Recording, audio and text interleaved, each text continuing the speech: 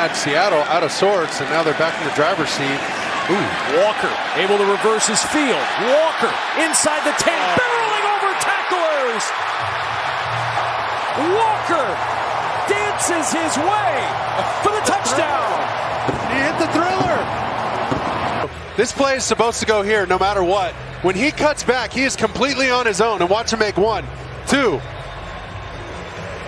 three guys miss, all on his own, on his way to the end zone, and then hit the thriller dance a couple days before Halloween. Whew. I mean, that's some awareness to elude all those defenders, but I'm talking the thriller.